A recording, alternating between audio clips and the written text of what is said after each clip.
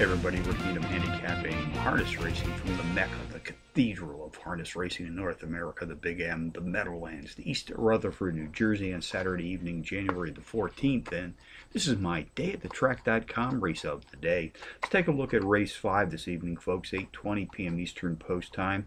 Tonight we have Pacers racing for the Presidential Free-for-All Stakes Prize, some $40,000. Contenders number one, Ann's Western Card, and the stablemate number 1A, Fred and Ginger, top my contenders list tonight, which also include number 8, Golden Receiver, number 6, Summer Camp, and number 4, Pedro Island.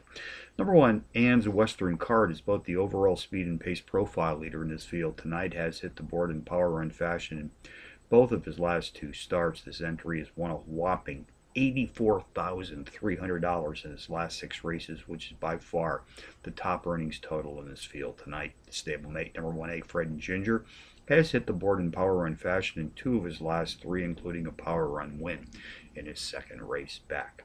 Number 8, Golden Receiver, who is the morning line favorite, comes off back to back to back power run wins in his last three starts. Race 5 summary, the paired entry of number 1 Ann's Western Card tops my contenders list, which also includes the stablemate, number 1A Fred and Ginger, number 8 Golden Receiver, number 6 Summer Camp, and number 1, eh, excuse me, number 4 Pedro Island, 1864 in the fifth tonight from the Big M. Meadowlands Long Shots, race 6, the 5 to 1 shot, number 4 Vintage Master, both the overall speed and class profile leader in this pacing field tonight, which is also part of the Presidential Free for All Stakes qualifying series. Race 7, number 5, Splendid Kisser, a 6 to 1 shot.